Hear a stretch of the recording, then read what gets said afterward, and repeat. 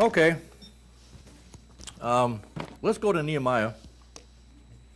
Probably one more time, and that'll be it for tonight. We'll see. I would think so. This morning we did a. I tried to show the ways of Tobiah, and Sanballat was in there. And I think his name was Shemaiah, Shemaiah, the uh, the trader that was hired to get in there.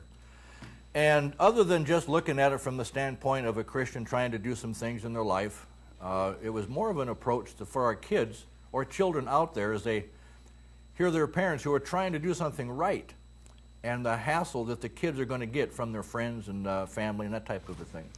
More along that line than uh, just, again, just studying the ways of the, the, the enemy out there because we already kind of know those. We've talked about it before. So I thought, well, we'll do, we'll do Tobiah in the morning and then we'll do Nehemiah at night. And Nehemiah, how did Nehemiah handle all those challenges that came his way? Well, we have to remember that the enemy is still the enemy. And the way he worked in the Old Testament, he'll, he'll just work that way today. So we know that's not a problem. We don't have to really rightly divide that thing. Paul had some good verses in there that reminded us of, the, of, of those folks, uh, uh, uh, evil seducers, and, and they're all out there.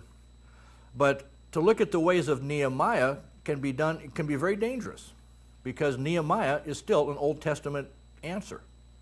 Nehemiah is still the kingdom of heaven as such. I mean, it's an earthly, physical response to an earthly, physical enemy. And we're looking at Paul, seeing Paul doesn't work that way. That's, that's one of the conflicts that I think uh, teaching Paul only type of a concept is hard for some folks. I know a pastor is no longer pastoring right now, and I wish he would. I wish he still was. But all he could ever do was go back to the Old Testament and find examples of how to be what the Christian should be based on an Old Testament ensample. And that's there's, there's, it's okay, but we have to remember, we'll see this here tonight, because we're going to try to look at Nehemiah and Paul, because it's different. Yet, and yet Nehemiah responded to the enemy, uh, so would Paul.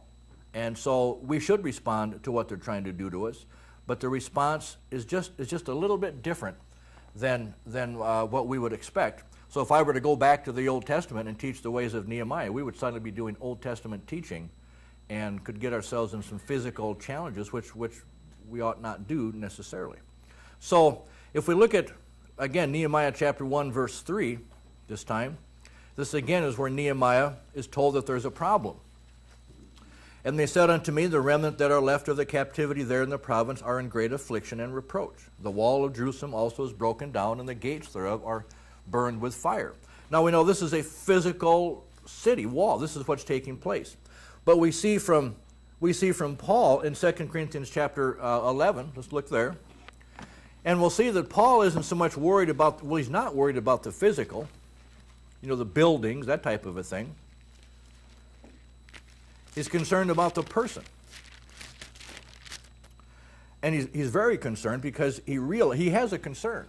And his concern is the fact that we will be, or somebody will be, or we all will be, will be uh, deceived. And he says in verse 3 But I fear lest by any means, as the serpent beguiled Eve through his subtlety, so your minds should be corrupted from the simplicity that is in Christ. Then he talks about uh, preaching another Jesus and receiving another spirit and, uh, and uh, through another gospel type of a thing. So we know that Paul is concerned along those lines. Uh, we won't look at all the verses, it would take us again too long, but you know, Paul is concerned that, that people didn't have, he talks to people that they didn't have any joy. I mean, bondage is a rough thing. And, and he was concerned about that.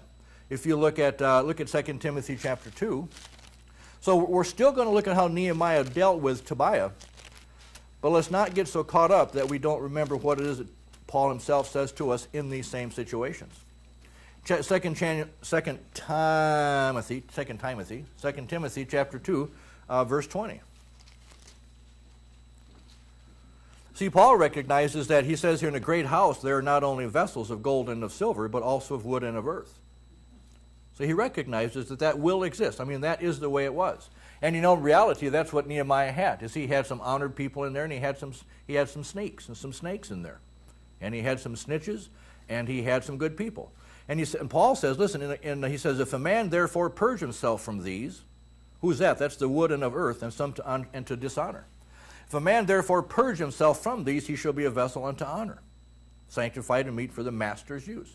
And there are still things in our life that, that uh, uh, we realize that Paul, would, the Lord, would have us get out of our lives. So, Paul realized that there's something bad going on here. Remember, he talks also, I think it's in 2 Timothy, uh, that's 1 Timothy 4, he talks about uh, seducing spirits and doctrines of devils. Uh, he, he, he, warns about that sort of a thing. Um, and I think it's in Timothy, 2 Timothy 3, I think it's in, uh, yeah, there is verse 12, or 13. Evil men and seducers shall wax worse and worse. So he knows it's going on, deceiving and being deceived. So both Paul and Nehemiah realize there's some horrible things taking place. So now let's go back to keep your fingers in Nehemiah all night here, but go back to Nehemiah again, chapter 1 there.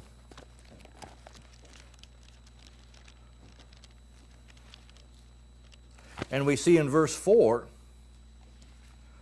that uh, says here, and, and it came to pass when I heard these words that I sat down and wept and mourned certain days and fasted and prayed before the God of heaven.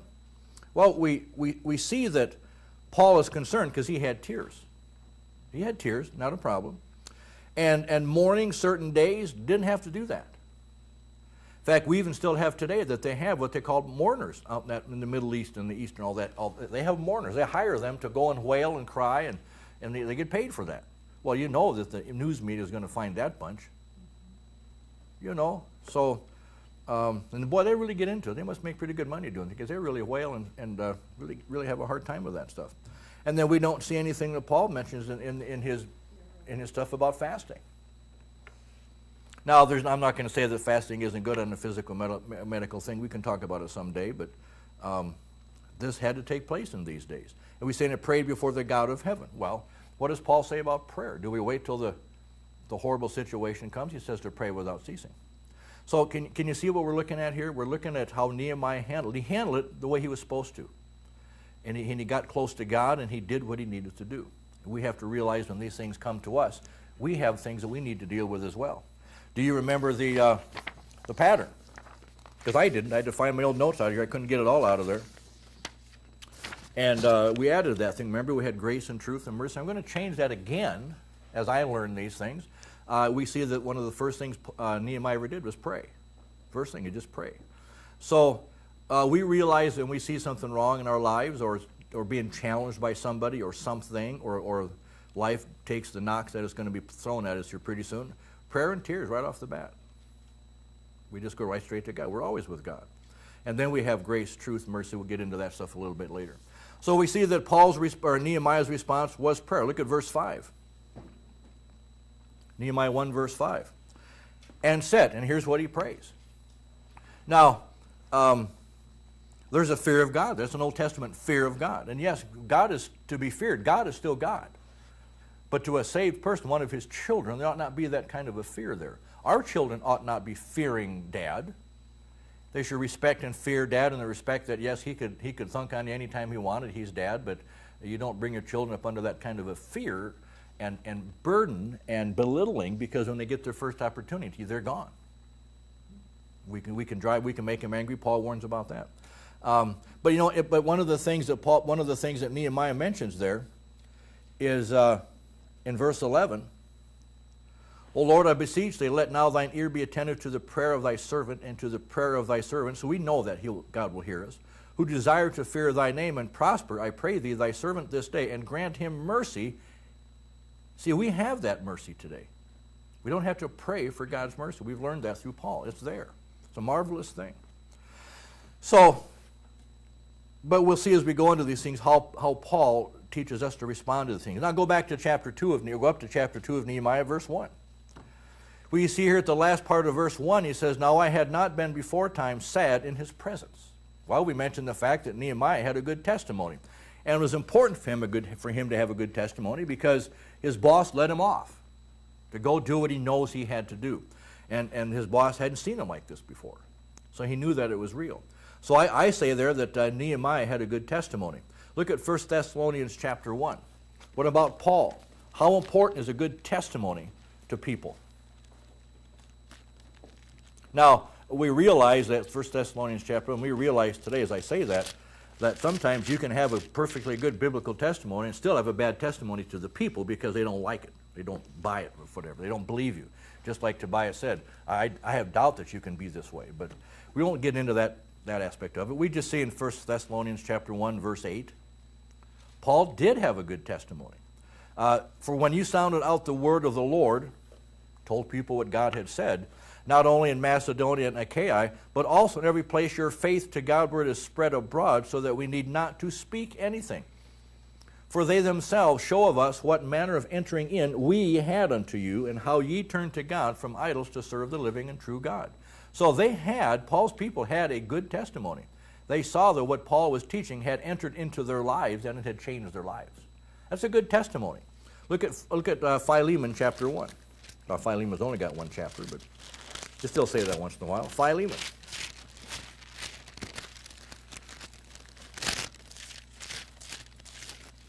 Verse 6. This is a really good verse that talks about that the communication of thy faith may become effectual. So we want to tell people, we want to communicate what is that we believe. We want it to be effectual. And it says here, by the acknowledging of every good thing which is in you in Christ Jesus. That means our life has changed. People see something different there. They may not like it. Remember in the, remember in the wall, by the time they were done, they realized that that was the work of God. And people are going to have to look at us in different, different situations in our lives, and they're going to see that, you know, it took you 10 years, but I think you're really serious finally. I mean, you've been going to that church for how many years, and they know that you're serious church people. They know that you don't do certain things and still haven't done it for so, so many, so many years, and uh, somebody invites you over to do something, and you say, I don't do that. Well, a couple years later, you want to come over, no, I still don't do that. Well, see, that's, that's, that takes God to get us to stay away from those things, because we won't do it on our own. Somebody hears you say, No, I won't do this, and then three weeks later you invite them over, or they invite you over, and then you sit down and you watch one of those things, then you've already blown your testimony. It's better to blow a, te- it's better to blow a friend than a testimony. Because after a while, you'll have the right kind of friends. So we see that Nehemiah had a good testimony. We see that Paul had a good testimony. And that was important for what Paul had to come up. Now, back to Nehemiah chapter 2. We see here that Nehemiah now I'm going to have to put something in the place of Nehemiah because I'm going to keep looking for this thing all the time here. You're probably the same way, right? I knew there was a purpose for this thing up here. Well, I guess there wasn't a purpose for this thing. Thank you, Bob, for the Nehemiah chapter 2, verse 12. Now, this is where Nehemiah gets a chance, and he goes back and he looks at the situation up close. Through that 12 through 16, you can read it, you probably already have. But we, we see that Nehemiah was very quiet about it. It was, it was his business and nobody else's business for him to go and see what's going on. He goes at night and this type of a thing and doesn't go yakking about people what he's going to do. Now, now Paul is good with that. Paul, let, us look at a couple of things. Let's go to 1 Corinthians. Keep your stuff in Nehemiah, though. Let's look at 1 Corinthians as we kind of zip through this tonight. Let's look at 1 Corinthians chapter 1. Are your pages in, in Paul's epistles getting kind of worn? Have you noticed more than the rest? Kind of sticking out further and everything? That's good. 1 Corinthians chapter 1, verse 10. Paul surveys the situation, and he sees here in, in, the church of Corinth there, he says, I beseech you, brethren, by the name of our Lord Jesus Christ, that you all speak the same thing, and that there be no denominations, be no divisions among you I'm, I'm, not, I wouldn't be surprised if that isn't where denominations kind of got started. I mean, everybody had different ideas, different beliefs, said different things. And get enough people together, you can start a church in that little realm. But that, he, he recognized there's a problem. He was concerned about that. Look at Galatians chapter 3. So, so Paul is, took, took he, he surveyed the situation. Uh, Galatians chapter 3, verse 1. O foolish Galatians, who hath bewitched you, that ye should not obey the truth, before whose eyes Jesus Christ hath been evidently set forth, crucified among you? This only would I learn of you, received ye the Spirit by the works of the law or by the hearing of faith? Are you so foolish, having begun in the Spirit, are ye now made perfect by the flesh? So he sees what's going on in that situation. That's not a good situation at all. And he, he surveys and he sees that. Look at Colossians chapter 2, a couple pages over. These are just a few of them that he sees. Colossians chapter 2, verse 1. For I would that ye knew what great conflict I have for you, and for them at Laodicea, and for as many as not seen my face in the flesh, that the hearts might be comforted. Apparently, the hearts weren't being comforted. Being knit together in love, apparently, they weren't knit together. And unto all riches of the full assurance, they probably had no assurance of understanding, to the acknowledgement of the mystery of God and of the Father and of Christ, in whom are hid all the treasures of wisdom and knowledge. He was concerned. People weren't getting what they should have been getting. Look at uh, 2 Thessalonians chapter 1. 2 Thess- 2 Thessalonians chapter 1, verse 3. Serious concerns here. Verse 3 is 2 Thessalonians chapter, chapter 1, verse 3. We are bound to thank God always for you, brethren, at his meat, because that your faith groweth exceedingly, and the charity of every one of you toward each other aboundeth. So that's good. So that we ourselves glory in you and the churches of God for your patience and faith in all your persecutions and tribulations that ye endure. Must have been having some hard times still. Which is a manifest token of the righteous judgment of God, that ye may be counted worthy of the kingdom of God, for which ye also suffer. Trying to do something right is going to show people out there what God still says is right, which is a judgment. Just your appearance shows up as a judgment. Why, why, do, they, why do you think they ask us, Are you judging me? When you, when you, when you, that kind of, when you're dressing or way you talk or whatever you don't do anymore, they think you're judged. I didn't judge you, but your appearance as a Christian, the way God would have us to be, sure, that, that's a token of judgment right there. Seeing it is a righteous thing with God to recompense tribulation to them that trouble you, and to you who are troubled, rest with us when the Lord Jesus. And then he goes on and he talks about how to be comforted. So, so Paul in his survey realizes that people are getting stressed out, they're getting uncomforted. Look at chapter 3 chapter 3, verse 6. Now we command you, brethren, in, in the name of our Lord Jesus Christ, that ye withdraw yourselves from every brother that walketh disorderly, and not after the tradition which ye received of us. And those are things that Paul has taught. For ye yourselves know how ye ought to follow us, for we behave not ourselves disorderly among you. And then it goes on. Paul realizes in his survey, as he sees the situation, that there's people that are having trouble within their own brethren family situation, church family, whatever and he helps them deal with it. Look at 2 Timothy chapter 3. There's a lot more verses, there's a lot more places that uh, uh, Paul makes these observations. And we know, we know chapter 3, verses 1, 2, 3, 4, 5, 6, 7. This is the form of godliness, the without natural affection, that whole series. And we see at the very end that he talks about uh, uh, uh Jannes and Jambres, uh, how they fought against Moses, how they withstood Moses. So do these also resist the truth. We're talking then in Paul's day, and we're still talking about that today. Men of corrupt minds reprobate concerning the faith. So he sees that, he recognizes that, and he says, listen, their folly is going to be made manifest someday. So uh, he, he, tells us today that the challenge that are going on in this modern Christianity, the, the folly is being, being uh, manifested. Unfortunately, those that recognize the folly of it all throw it all out. That's the hard part. That's the sad part. They just figure that all religion, all Christianity, all Bible is the whole thing. I'll just get rid of it all, and I'll just go out there and, and uh, follow this modern Christianity, if, if they even do that. Well, back to Nehemiah chapter 2. So Nehemiah surveys the situation. Paul has done some surveying. He knows what's going on out there. But Paul is looking to the people. Nehemiah is looking towards a city and a wall to protect his people. So back to uh, Nehemiah chapter 2, verse 17. We see here that this is where, what is one of the what, the, what is one of the things Nehemiah does? Well, he goes out and he gets people together, and he gets up a crew, and he gets his people who are going to fix this wall. Uh, verse 17, he says, uh, Then I said unto them, Ye see the distress that we are in? Oh, yes, Nehemiah, we see that. How, how Jerusalem lieth waste? Oh, yeah, this is terrible. And the gates thereof are burned with fire. Come, and let us build up the wall of Jerusalem, that we be no more a reproach. So, so he gets them their strength. He strengthened their strengthened their their hands are strengthened. It's a good work they're going to do. And look at Romans chapter 16. Paul really didn't do this thing on his own. He wasn't some little guy, uh, guy with bad eyes or whatever people say that he is or was, uh, walking around all by his little lonesome teaching this stuff. He had a group. He had a bunch of people that were there with him. And you go through Romans 16, one place, there's other places, but uh, Romans 16, you've got um, uh, Epaenetus, you've got Mary, you've got Andronicus, you've got Junia, you've got Amplius, Urbane, Apelles, uh, Herodion, and you've got a whole bunch of names in there. So, so Paul had to have his encouragement. He had to have his, his, his people be there with him too. And they had to be willing to uh, uh do the, the life that Paul was preaching, be an example. So we see that in Romans chapter 16, a, lot of Rufus down there in 13. Have no idea what these people did. Some of them we do, but most of them we don't. Isn't there one in there? Uh, let's see where they're listed here. Uh, uh, verse 3 Priscilla and Aquila. Who, who did they get a hold of? Apollos. And uh, Apollos is the one where we get the fact that they're learning the way of God more perfectly. Still the way of God. It's just there's more to it. There's more finished. There's more perfectly. And that's because of them right there. And they had a home church too.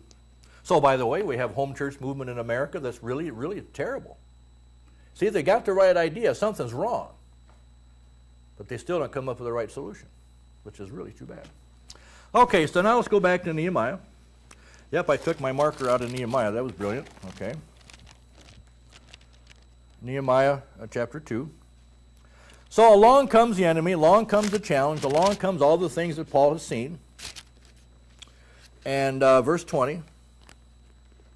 And he says here in verse 20, Then answered I them and said unto them, These are the Sanballat and all these people that uh, grieved at him exceedingly. The God of heaven, he will prosper us. Therefore, we, his servants, will arise and build. But ye have no portion, nor right, nor memorial in Jerusalem. A city again. But now, right away, if we see the word build and we think of Paul, do you know where to go? 1 Corinthians chapter 3. He is our master builder. So when we realize there's something, something I got to deal with, then we go to Paul. We're going to Jesus Christ, we're going to the risen Christ, but we go to his teachings through, through Paul. And, uh, and when we do that, we have to have the same thing that Nehemiah had. He trusted God. He said, God will prosper us. Well, we know that God will prosper us in a kingdom of God situation, not in a kingdom of heaven, not in a physical kingdom. We still could lose this place. I mean, this is just a building. But we still can exist as a Christian. We can still learn and grow, read our Bibles, and we can meet in homes. We can meet in the park. We could, if it ever gets to that point, we can meet over the internet. Of course, they'll have that shut down here pretty soon. And they're just going after this stuff. But you still got a Bible. Even if it gets that bad, you've just got a Bible. So Nehemiah had trust and faith, and Paul preaches trusting and faith in Christ. It's just that he's not going to prosper us physically; he's going to prosper us spiritual blessings. And there's all these all these verses for that. I think you know these things. Uh, um, Paul talks about the fact that we can have a knowledge. We have a Bible. Paul talks about the fact that we can have an understanding, an assurance of understanding, the riches of an assurance of understanding, to actually understand what's going on. Uh, we can get that. God will give us that. And you'll see as we go through this thing, which we're kind of zipping through this tonight, that every one of these things that, that Nehemiah responded with how Paul then shows us how to respond, it's all always going back to this Bible. When, when Nehemiah responds the way he does and goes to God and comes up with these things that he should do, this is what Paul says to do. You go to his word and you find out what it is that Paul, in his example to us, example, would be to follow Paul. It's always to the Bible because he tells us to go to God, go to the Lord. We go Lord in prayer, sure, but how do you hear back from him? Bible. And that's what we'll see tonight. Let's go here to uh, chapter 4, verse 4. Here's something else that Nehemiah does, depending upon the situation there. He goes to prayer. He's been hassled by his enemy as such. And he says, Hear, o, o our God, for we are despised. Or if we were to sing it, we would say what? We are, we are despised. We have to get that rhythm in the, the syllables. And turn their reproach upon their own head. And give them a prey, give them for a prey in the land of captivity. And cover not their iniquity, and let not their sin be blotted out from before thee. For they have provoked thee to anger before the builders. Wow, that's pretty rough. I don't, I don't think Paul would do that. I don't think the risen Savior's like that. Let's look at 2 Timothy chapter 3. I mean, Nehemiah is asking God to take care of them and give them what they deserve. He doesn't say, well, Lord, should I let them in? We'll, we'll let them help us build our wall. Maybe we can teach them some things in the process. 2 Timothy chapter 3.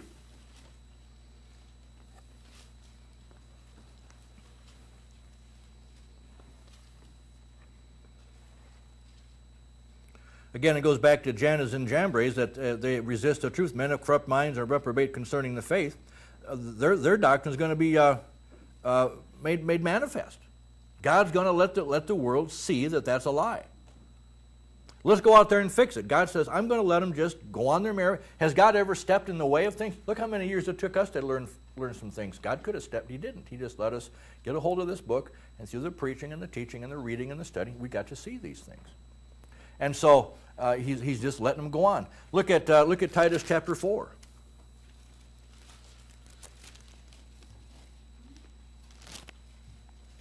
I'm sorry, not just uh, 2 Timothy chapter 4. It's above the word Titus. I just, sometimes I read the titles backwards at the top of the page. Titus. Ah, this is Titus.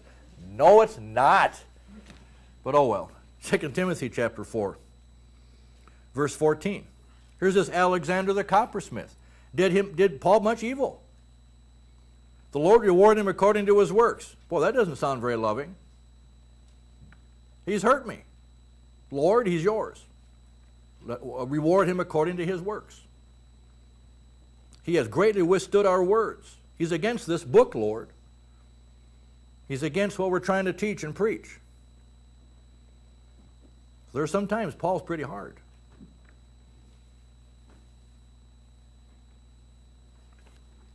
Then uh, look at uh, 1 Timothy. I hope it's 1 Timothy. It's probably 1 Romans or something. But let's try 1 Timothy chapter 1, verse 19.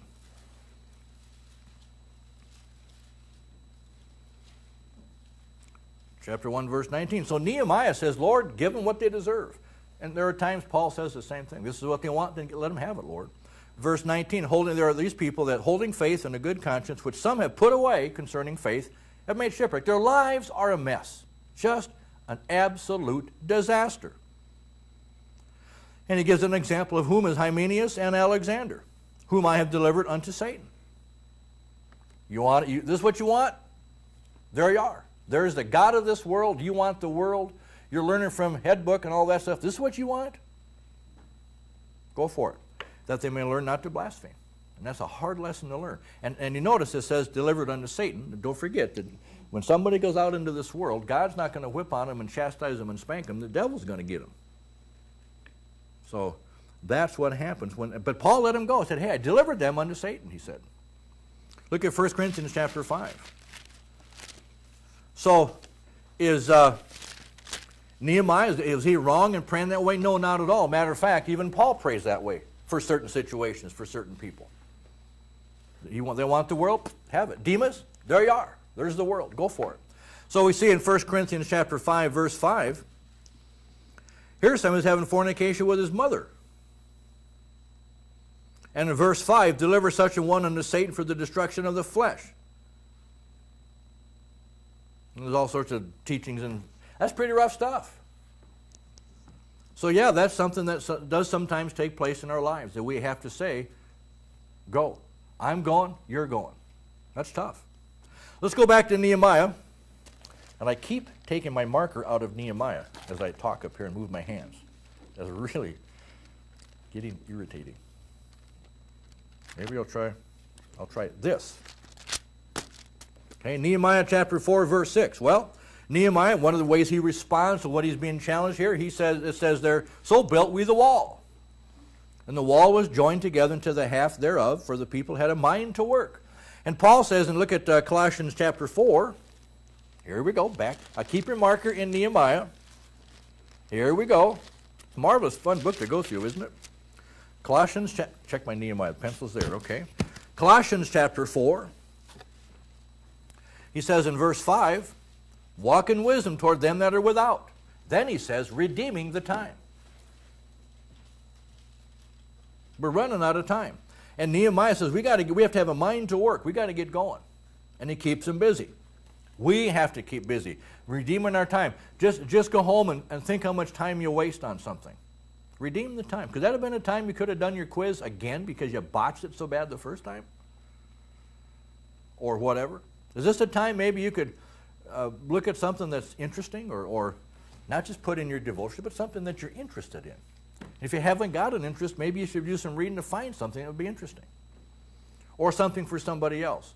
Or just get caught up in the past so your future can be a little bit smoother. Whatever. Uh, we're, we're, pretty good time wasters. And Nehemiah was, let's go build the wall. Let's go do it. Okay. Okay, let's go to verse 9 of Nehemiah. Is it still there? It's still there. Nehemiah chapter five, 4, verse 9. Well, here we are again. Well, how does Nehemiah respond? Well, nevertheless, we made our prayer unto God and set a watch against them day and night because of them. So, what does he? He stays close to God. Paul tells us to pray without ceasing. Tells us to read and study, rightly divide, that type of thing. So we do that. We know that Paul says in Romans 7 that he battles the mind and the flesh all the time. So there's always it's all it's an all the time 24/7 thing. So he's got to stay tight. He's got he talks about the armor of God in Ephesians chapter 6. There's how you watch. That's what he's setting up here. Um, look at 2 Timothy chapter chapter 1. 2 Timothy chapter 1. I know this is fast, but I just want you to see that we can still get an example out of Nehemiah, but we can't conflict against Paul. Second, uh, first, Second Timothy chapter one, verse thirteen. Hold fast the form of sound words. That's like setting a watch day and night. You, you know what's coming. Never, never let our guard down. Isn't that nice that the Lord never takes his armor down? We, can, we can't even take it down ourselves, but we seem to uh, let, it, let it penetrate sometimes. I guess that's just a figure of speech, a way of preaching that thing. It says up there in verse 3, he tells us to, in uh, chapter 2, verse 3, he tells us to endure hardness. It's going to come. So prepare for it. Watch and pray. Uh, watch day and night. It, it's there. You, st- you, stay strong at, you stay strong at work during the day. Don't forget to stay strong at night. All the time.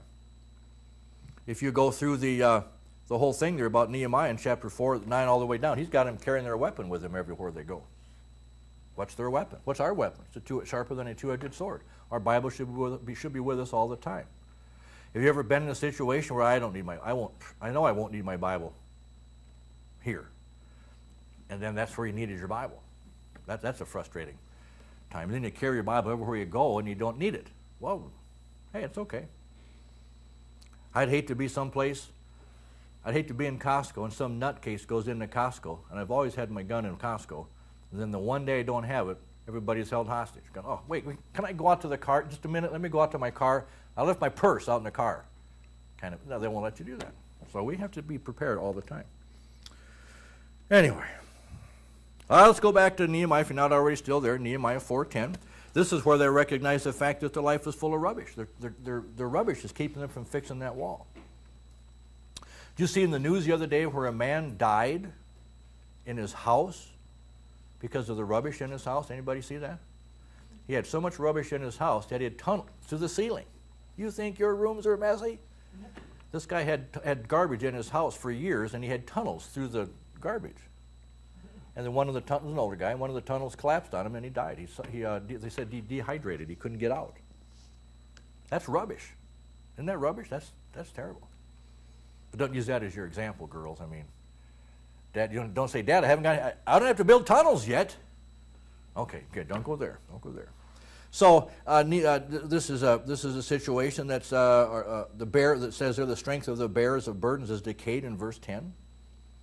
It's hard, and there's much rubbish. We can't even build the wall. Well, look at 2 Corinthians chapter three. You know, they, they get rid of that stuff. In fact, why there's so much rubbish there, this is where the enemy creeps in and gets to be part of them, mixes in amongst them. I would imagine that guy's garbage probably had a couple good things in there somewhere. I'm not sure, you know. You know, and it was weird because you see the picture of this guy's house and there was garbage coming out the windows. You don't think maybe somebody should have said something, maybe? Just nosy neighbors. Well, man, you got garbage coming out of your windows and it's higher than your window. And nobody cared, I guess. I don't know. It's hard to say anymore. You know, in California, you can get sued now for helping somebody. That Good Samaritan law is no longer in existence in California. So if Jimmy sees somebody going to burn to death and he's going to run in there and save him, I, I would I would hesitate, thinking, you know what? If I don't get this guy out totally, I could get in trouble for this. That's that's what California is back to that thing again. Anyway, 2 Corinthians 13, talking about rubbish. 2 Corinthians 13, verse 5. What is what I say? Well, don't pay attention to me. Yeah, I know you do. You do very good at that. Speaking of rubbish, 2 Corinthians 13, verse 5. I got to go back and listen to that. I didn't. I say what? 30? Three. Three. Oh, three. Oh, okay. I can, I can fake out a three. That's normal. Chapter 30 is a rough one to explain that one. Which 30 is just three backwards. That's all that would have been. You know. He says, Examine yourselves whether you be in the faith. Prove your own selves. Know ye not your own selves how that Jesus Christ is in you, except you be reprobates? I mean, you don't, you don't know this? Are you or are you not? But I trust that you shall know that we are not reprobates and uh, that kind of a thing. I like this. Now I pray to God that ye do no evil, not that we should appear approved. You know, you're looking good as a Christian, but uh, that we should do that which is honest. Though we be as reprobates, I mean, our flesh is still flesh. So, Paul does tell us to dig, dig into that rubbish and see if we can't get rid of some of that stuff. He talks about the snare of the devil that people are caught in. That's rubbish. He talks about the, uh, the Word of God, which will correct us and instruct us in righteousness. That'll show us the rubbish and then show us how to get out of that. Get the rubbish out of there or whatever, whatever. So there's that. Let's go back to Nehemiah chapter 4 verse 13. Nehemiah is being challenged by Tobiah and Sanballat and these guys again, and they're getting more people involved. You see in verse 13, he says, Therefore said I in the lower places behind the wall, and on the higher places I even set the people after their families with their swords and their spears and their bows. So Nehemiah gets out there, and he's down at the bottom where it really counts, and yet he's still got the families up there, uh, and they're still watching. They're still taking care of. This is where they get their weapons and everything uh, in, their, in, their, in one hand and their shovel in the other, kind of a thing. And what does Paul tell us to do? He tells us in Philippians chapter 1, for example, one of the many places, what does he tell us to do? Philippians chapter 1.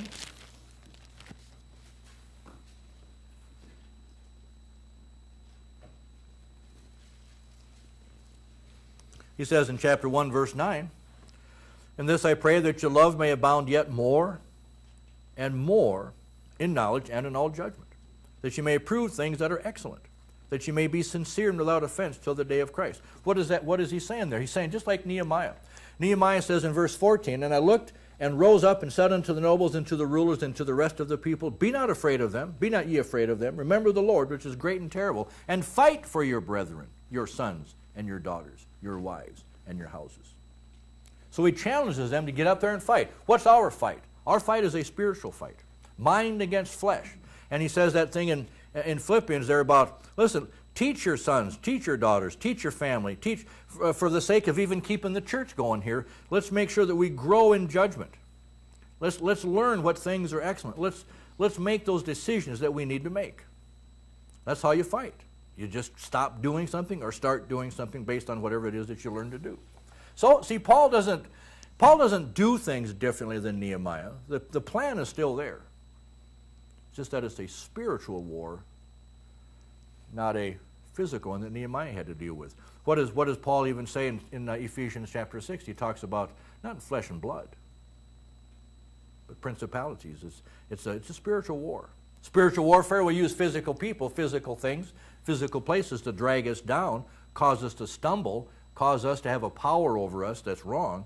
But uh, you know, as far as our soul is concerned, that's, that's taken care of but there's a testimony involved. It's getting other people, you know, we could cause somebody else to stumble on physical things that could actually keep them from getting the right Jesus. I mean, there's so much at stake here when people see what it is that we, that we, that we uh, do as a Christian. Look at, uh, look at uh, uh Nehemiah chapter 5. We're just going through this quickly. I suppose you can tell that already. I just want you to see that uh, there's something there for both of them. The notes are online if you want to follow that. Um, Who's there tonight, Sam? Still?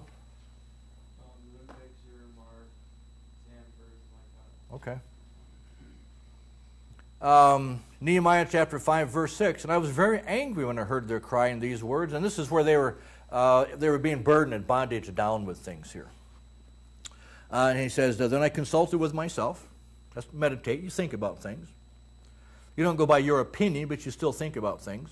And I rebuked the nobles and the rulers and said unto them, Ye exact usury, every one of his brother.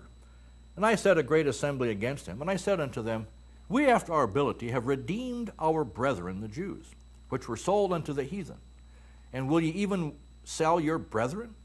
Or shall they be sold unto us? Then held they their peace and found nothing to answer. So Nehemiah put it to the people, putting that on those folks. And in the process, he talks about what it would take to build that wall. You get down into verse 14 through 19, he talks about a sacrifice, that he was never received any government uh, um, uh, bread from the king and all that sort of a thing. And, and what I see here is, is, is uh, Nehemiah setting an example and it's a sacrificial example. Look at 2 Corinthians chapter 11 for Paul. What does Paul do? Nehemiah didn't go to work, he didn't get any pay, and he did what he had to do. 2 Corinthians, chapter 11, uh, what is this? Verse 16.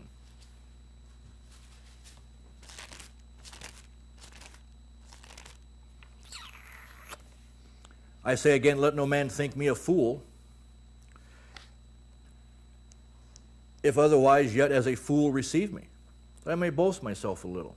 That which I speak, I speak it not after the Lord, but as it were foolishly, in this confidence of boasting. Seeing that many glory after the flesh, I will glory also. For ye suffer fools gladly, seeing ye yourselves are wise. For if ye suffer, if a man bring you into bondage, if a man devour you, if a man take of you, if a man exalt himself, if a man smite you on the face. I speak as concerning reproach, as though we had been weak. Howbeit, whereinsoever any is bold, I speak foolishly. He's, he's reminding us, I speak foolishly. I am bold also. Are they Hebrews? So am I. Are they Israelites? So am I. Are they the seed of David? So am I. Are they ministers of Christ? I speak as a fool still. He's being sarcastic here. I am more. In labors more abundant, in stripes above measure, in prisons more frequent, in deaths oft. Of the Jews five times received I forty stripes, save one. Thrice I was beaten, was I beaten with rods. Once I was, was I stoned. Thrice I suffered shipwreck. And night, a night and day I have been in the deep, in journeyings often, in perils of waters. And so, if, if you want to complain, Paul says, if you want to say how hard this is for you, let me tell you what I've been through. That's what he's saying. Now, Nehemiah was telling these people, all the sacrifice that you've done, and he, and he, he fixes that for them. But he does remind them that I have sacrificed as well, not in a prideful manner, just like Paul. Look at, look at uh, Philippians. Philippians chapter 1, verse 20. There was sacrifice involved here. Philippians chapter 1, verse 20. According to my earnest expectation and my hope that in nothing I shall be ashamed but that with all boldness, as always, so now also Christ shall be magnified in my body, whether it be by life or by death. He was hoping for death, actually, because he says, For to me to live is Christ, and to die is gain. But if I live in the flesh, meaning he's alive, uh, this is the fruit of my labor. Yet what I shall choose, I wot not. For I'm in a strait, strait betwixt two, having a desire to depart and to be with Christ, which is far better. I would imagine there's been folks that have been in that situation where, you know, I'm just, I just hope I can die. I'd much rather be with the Lord. He says, nevertheless, I mean, he, he could have gone to be with the Lord. He's been with the Lord, actually. He says, but nevertheless, to abide in the flesh is more needful for you. And having this confidence, I know that I shall abide and continue with you, you all, there's you go, Sue, you all for your furtherance and joy of faith that your rejoicing may be more abundant in Jesus Christ for me by my coming to you again. That's what Paul's request. That's very sacrificial. So, Nehemiah was sacrificing, so was Paul. What did it take for us to have this Bible? Look at all the sacrifice that went by. And that's a tremendous amount of sacrifice for, for us to have this Bible today. What kind of sacrifice has been made to even keep this place going so we can still be here? What kind of sacrifice will it take? What kind of sacrifice will you do, Pastor? What kind of sacrifice will you do, folks? I mean, we'll see what's coming. Nehemiah was an example, so was Paul. Look at uh, Philippians chapter. Let's go back to Nehemiah chapter. Now, let's go here down to. Um, go to Philippians chapter 4. Got one more here, I think. Yes, one more for Paul sacrificial. Philippians chapter 4, verse 15. Now, you uh, Philippians know also that in the beginning of the gospel, I say that right? Philippians, okay. I don't need to bring up the you know. okay, just, I don't know, something didn't seem right. That in the beginning of the gospel, when I departed from Macedonia, no church communicated with me as concerning giving and receiving, but ye only. For even in Thessalonica, ye sent once and again unto my necessity. Paul had needs, and they were filled. Not because I desire a gift, but I desire fruit that may abound to your account. What a, what a sacrificial attitude he had there. But I have, I have all, and abound. I am full, having received of Epaphroditus the things which are sent from you, an odor of a sweet smell, a sacrifice acceptable, well pleasing to God. We're not even really having a sacrifice yet. I mean, I got 10,000 rounds in my office. no need to worry about that. I've got probably 10,000 pieces of chocolate in there too somewhere.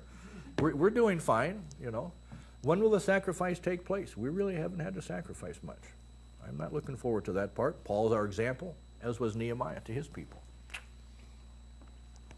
In, in fact, let me think here. Where's this at? That's, uh, look at Philippians chapter 1.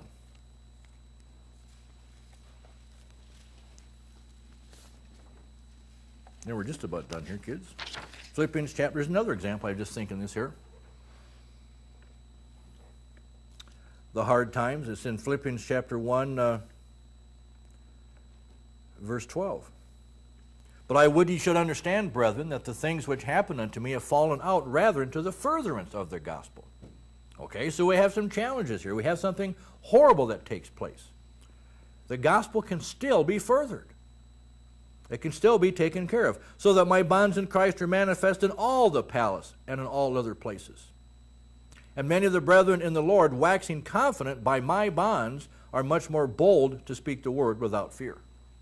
So something drastically happens to me or to this church or somebody in here, it's an, an attack or whatever it is, we should, we should just rise to the occasion and we'll still be stronger. That's what a sacrificial thing will take place should take place, seeing something like that. Okay, back to Nehemiah chapter 6.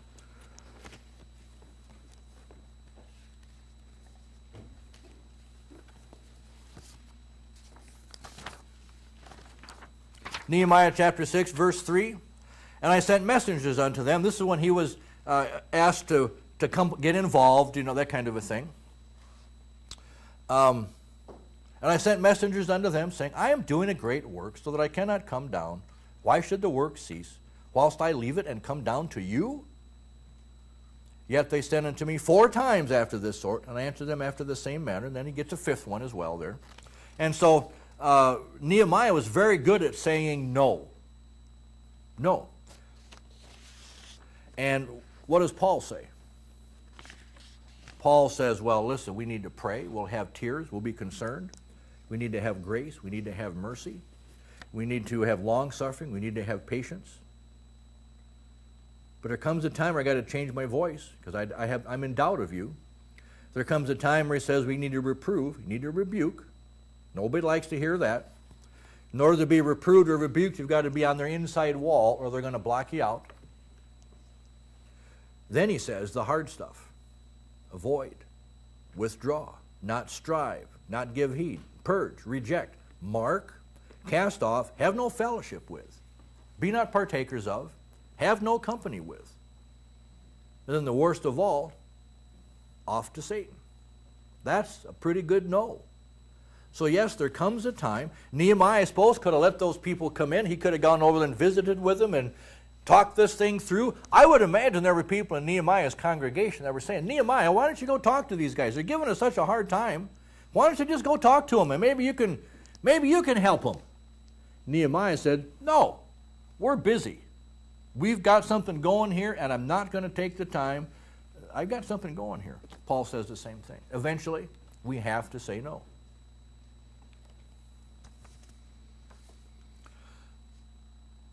Nehemiah chapter 6 again, verse 11. Now we got this traitor guy that shows up, so how does Nehemiah handle that? Same thing. He avoids them, turns them away, won't have company with them. So the same thing pops in again. Matter of fact, if there's anything we can get from Paul, as well as the law and, and how Christ take, took care of the law and the law is not there for righteousness, that kind of a thing, it's the fact that Paul is very adamant about, yes, this is the dispensation of grace, and this is the time to have grace and mercy, but he says if it's going to cause you damage, you get out of there. Paul's very strong about that. Then we go to chapter 6, verse 15 and 16. So the wall was finished. But it just seems like the enemy isn't. Never has been. Again, what does Paul say? Mercy, grace. Maybe they'll see it in three years. Maybe the little seed that you planted, as they got mad at you and you an- answered with a soft answer, maybe that little answer, that little seed that you planted, uh, will work. Remember the guy that told me that we should be following Paul? And we laughed. It was 25, it was a long time ago, years back in New York. Whoever said that to Cliff doesn't know what's come out of that little comment that 20, 30 years, is it really that long? 20, 30 years in New York? It was only 13 here and 6 or 9. Whew. 19, yeah, wow. 20 years ago or thereabouts, and now it's taking place. So we don't know that. So yes, we're finished. We got our job done, but they're going to keep we're going to keep hassling us. We know that. But Paul says mercy, patience, long suffering. But Paul is also very clear that we need to say no eventually. If it's starting to drag you down or harm you or harm the wall that you've built or the testimony that you developed, you can't let them get it. But just remember, they will never give up. And they won't give up today. They're still after Paul. You know, there's websites out there. There's uh, there's right there's uh, Paltalk people that men that go around on the on the internet thing looking for Paltalk Paul people, and we haven't seen any more probably, but uh, they go after this. My job's my ministry. Got to show you guys how wrong you are, kind of a thing. So they still hate Paul's teachings. They still hate the King James Bible, and they hate anything that's right. They hate the right music. They hate you dressing right, talking right, acting right. They hate all that stuff. They always will. Anyway, amen. There you go.